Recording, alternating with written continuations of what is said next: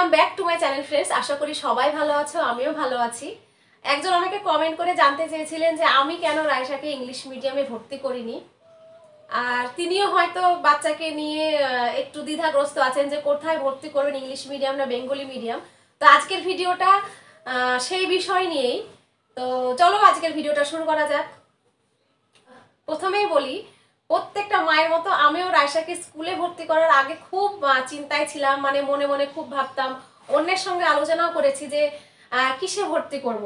English মিডিয়ামে না Bengali মিডিয়ামে? যেখানে আমার আশেপাশের লোক মানে সিনসিয়ার বাবা মায়েরা, আমার বন্ধু বান্ধবেরা নিজেদের ছেলে মেয়েদেরকে ইংলিশ মিডিয়ামে ভর্তি করছেন, সেখানে মানে কোথায় আমি ভর্তি করব? তো আমি দেখা দেখি আমি কিছু করতে চাইনি। আমার সত্যি কথা বলছি কি রায়সাকে বেঙ্গলি মিডিয়ামে ভর্তি করার আমার মতামতটা সম্পূর্ণই আমার নিজের। এখানে সম্পূর্ণ নিজের আমার বলছি এই কারণে, কারণ রায়সার পাপাও এই বিষয়টা পুরো আমার উপরে ছেড়ে দিয়েছিল। কারণ যেহেতু রায়সাকে গাইডটা ম্যাক্সিমাম ক্ষেত্রে হলো ছোটতে আমি করতাম, তো সেই জন্য পুরোটা আমাকেই ছেড়ে দিয়েছিল। কারণ একটা বাচ্চা মায়ের কাছে বেশি থাকে এবং বাড়ির শিক্ষাদানটা কিন্তু মায়ের কাছেই হয়। কেন আমি রায়সাকে ইংলিশ মিডিয়ামে ভর্তি করিনি, বেঙ্গলি মিডিয়ামে ভর্তি করেছি, সেটা আমি তোমাদের সঙ্গে শেয়ার করছি। কিন্তু আরেকটা বিষয় সাইডে রাখি, কিন্তু তোমরা যদি ঠিকঠাকভাবে গাইড করতে পারো, তোমরা যদি মেনটেন করতে পারো, ইংলিশ মিডিয়াম সত্যিই ভালো, তোমরা ভর্তি করতে পারো কোনো মানে কোনো সমস্যা নেই। আমার কিছু সমস্যা ছিল, সেজন্য আমি রায়সাকে ইংলিশ মিডিয়ামে ভর্তি করিনি। আর প্রথম সমস্যা হলো যে, আমি সবসময় চেয়েছিলাম যে রায়সার যে শিক্ষা মানে প্রাপ্তি, প্রাথমিক যে শিক্ষা প্রাপ্তি সেটা ওর মাতৃভাষাতে হোক। মানে আমি চাই যে ওর বাংলা ইতিহাস, ভূগোল, বিজ্ঞান সমস্ত কিছু ও মাতৃভাষাতে শিখুক। তাহলে হয়তো আমার চাপটা কম হবে। মানে কোথাও না কোথাও ভাবতে পারো যে আমি আমার নিজের চাপটা কমানোর জন্য ওকে ইংলিশ মিডিয়ামে ভর্তি করিনি। কারণ আলাদাভাবে আমরা যে এলাকায় বাস করি, সেখানে আমাদের ইংলিশ মিডিয়ামে ভর্তি করতে গেলে বাবা মাকে প্রচুর পরিমাণে খাটতে হবে। কারণ আমাদের চারিপাশে আমরা সমস্ত কিছু বাংলা বলি এবং বাংলাটাও হয়তো প্রপারভাবে বলি না। মানে আমাদের হয়তো আঞ্চলিক ভাষা বলি। যেখানে রায়সা নিজেও এখনও বাংলা কিছু লিখতে গেলে ভুল করে। মানে যেটা মানে বাড়িতে হয়তো বলছে, সেই কথাগুলোই হয়তো বাংলাতে লিখে। আসলে আমার কাছে ইংরেজি একটা ল্যাঙ্গুয়েজ বাংলা যেমন ল্যাঙ্গুয়েজ ইংরেজি একটা ল্যাঙ্গুয়েজ তো আমার এটুকু বিশ্বাস আছে যে, বয়সের সাথে সাথে রায়সা যখন বড় হবে, ও ইংরেজি ভাষাটাও শিখে নেবে। যেমন অটোমেটিক টিভি মোবাইল দেখে কিন্তু হিন্দিটাও কিছুটা হলেও রপ্ত করে নিয়েছে। আর একটা ইন্টারেস্টিং বিষয় তোমাদের সঙ্গে শেয়ার করি। লকডাউনের আগে আমরা ভাইজাগে গিয়েছিলাম। তো সেখানে আমাদের যাওয়া আসার টিকিটটা ছিল ফ্লাইটে তো আসার সময় আমরা এয়ারপোর্টে ওয়েটিং রুমে অপেক্ষা করছি। তো আমি মানে একটা রায়সার একটা বিষয় নিয়ে তো আমি খুব সারপ্রাইজড হয়ে গিয়েছিলাম যে ওখানে দু তিনটে বাচ্চা মেয়ে ছিল। তো তারা ইংরেজিতে কথা বলছিল। তো রায়সা সুন্দরভাবে ওদের সঙ্গে কমিউনিকেট করতে পারছিল। মানে ওরা রায়সা ভুলভাল ইংরেজি বলছে, কিন্তু ভুলভাল ইংরেজি বললেও ওই বাচ্চা মেয়েগুলো কিন্তু ওর কথাটা বুঝতে পারছিল। আবার ওরা যে ইংলিশ কথাগুলো বলছিল রায়সা সেটা বুঝতে পারছিল।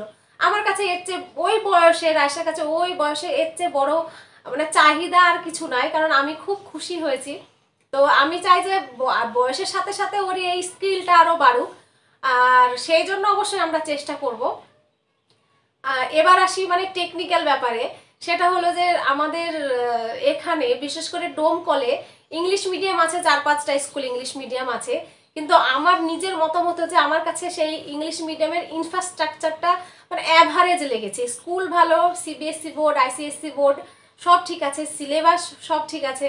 কিন্তু আমার মানে সেই স্ট্রাকচারটা আমার অ্যাভারেজ লেগেছে। সেই জন্য আমি রাশাকে ভর্তি করিনি। আর- স্কুলের ইংলিশ মিডিয়ামে যেহেতু আমরা বাঙালি, যদি স্কুলের স্ট্রাকচারটা ঠিক মানে ইনফ্রাস্ট্রাকচারটা যদি ঠিকঠাক না হয়, তাহলে সেখানে আমার মনে হয় কোথাও না কোথাও মানে একটা ল্যাক থেকেই যায়, একটা কম মানে একটা বোঝার যে একটা ল্যাক শেখার যে একটা মানে গ্যাপ সেটা থেকেই যায়। আর আমি নিজে ইংলিশ মিডিয়ামের ছাত্রী মানে তোমরা হয়তো অবাক হয়ে যাচ্ছ। আমার বয়স এখন তেত্রিশ বছর। তো বুঝতে পারছ যে কত বছর আগে ইংলিশ মিডিয়ামে আমাকে আমার বাপি মা গুড কোয়ালিটি এডুকেশন দেওয়ার জন্য ভর্তি করেছিলেন। আর তখন ডোম কলেও ইংলিশ মিডিয়াম ছিল না ইংলিশ মিডিয়াম ছিল ইসলামপুরে। তো সেইখানে আমি কিন্তু ইসলামপুরে রোজমেরি নার্সারি স্কুলে ওয়ান থেকে ফোর পর্যন্ত পড়েছি। তো আমি আমার নিজের অভিজ্ঞতা থেকেই আহ, রায়সাকে আর সেজন্য ইংলিশ মিডিয়ামে ভর্তি করিনি। আর আমি আর এটুকু বিশ্বাস আছে যে ইংরা, যদি নিজের জ্ঞানটা ঠিকঠাক থাকে, তাহলে ও বড় হয়ে তো অনেকের এরকম থাকে চিন্তা ভাবনা যে বড় হয়ে তো সমস্ত কিছুই ইংলিশে। ও যদি নিজের জ্ঞানটা ঠিকঠাক রাখে, তাহলে বড় হয়ে সেই ইতিহাস, ভূগোল, বিজ্ঞান যা কিছু ইংরেজিতে থাকুক না কেন বুঝতে পারবে, লিখতে পারবে। তার জন্য ছোট থেকেই অতিরিক্ত চাপ দেওয়ার আমার মনে হয় না যে কোনো মানে প্রয়োজন আছে, যেহেতু ইংরেজিটা ওর মধ্যে ভীতি ঢুকে যাবে। কারণ বাংলাতে ওকে কথা বলতে হচ্ছে, কারণ আমরা তো সবাই বাঙালি, বাঙালিতে তো আমরা কথা বলি। আর আমরা কিন্তু ইংরেজি জানলেও আমরা সত্যি কথা বলছি, অতটা সরগর নই ইংরেজিতে। অনেকেই বলেন যে ইংলিশ মিডিয়াম বা কনভেন্টের সিলেবাস সিবিএসসি বোর্ড আইসিএসসি বোর্ডের সিলেবাস আর বেঙ্গলি মিডিয়ামের সিলেবাসের অনেক পার্থক্য। তো এখন দিন দিন আমাদের বেঙ্গলি মিডিয়ামের সিলেবাসের অনেক চেঞ্জ হচ্ছে। আর সত্যি কথা বলতে কি, আমি তো ওই সিলেবাস নিয়েই ঘাটাঘাটি করছি। যদি সেই বইগুলোই আমরা ঠিকঠাক পড়াশোনা করাই, তো বয়স অনুযায়ী তাদের জন্য ওইটুকুই যথেষ্ট। এইটুকুই। তো যদি তোমাদের আর আমার, আমি যদি হয়তো অন্য কোথাও থাকতাম মানে ডোমকলে না থেকে বহরমপুরে থাকতাম, বহরমপুরে অনেক ভালো ভালো ইংলিশ মিডিয়াম আছে, তাহলে হয়তো রাশাকে ইংলিশ মিডিয়ামে ভর্তি করতাম। কিন্তু এই পরিস্থিতিতে আমাদের ডোমকলে আমি ওকে আলাদাভাবে চাপ দিতে চাইনি। আর কদিন আগেই একটা ভিডিও করেছে রায়সার পাপা আর রায়সা যেটাতে আমি ছিলাম না, আমি স্কুলে গিয়েছিলাম। তো ভিডিওটা ওর পাপা আমাকে পরে দেখাল, কারণ ওর পাপা নিজেই খুব অবাক হয়ে গিয়েছিল রায়সার এই বুদ্ধির বিকাশটা দেখে। তো রায়সা একটা কুমড়োর ফুল দেখেছে, কুমড়োর ফুল দেখে ও নিজে থেকেই বলেছে যে এটা পুরুষ ফুল।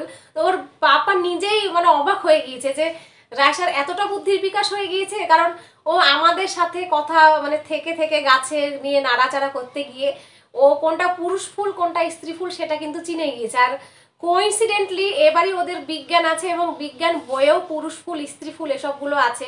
মাতৃভাষাতে ওকে বোঝাতে গিয়ে আলাদাভাবে আমাদেরকে খাটতে হয়নি। হয়তো ওর এর আগে হয়তো আমরা বলেছি এরকম এইরকম থাকলে পুরুষ ফুল হয়, এরকম থাকলে স্ত্রী ফুল হয়।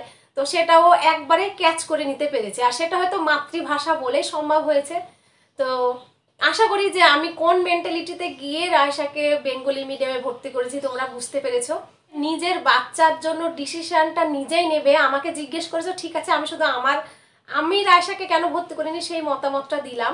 আর তোমাদের নিজের বাচ্চার জন্য ডিসিশনটা তোমরাই নিবে। কারণ আমার মনে হয় যে একটা বাচ্চার ভবিষ্যতের ডিসিশন সেটা বাবা মার চেয়ে বড় কেউ, অন্য কেউ নিতে পারে না। তো এমনভাবে নেবে যাতে ওদের শৈশবটা না হারিয়ে যায়। তো আজকের মতো ভিডিওটা এটুকুই। তো আশা করি যে হয়তো কিছুটা হলেও তোমাদের হেল্পফুল হয়েছে আজকের ভিডিওটা। যদি কিছু ভালো লেগে থাকে, তাহলে অবশ্যই লাইক কমেন্ট সাবস্ক্রাইব করে দিও। দেখা হচ্ছে পরের ভিডিওতে। ততক্ষণের জন্য সুন্দর থাকো, সুস্থ থাকো। টাটা!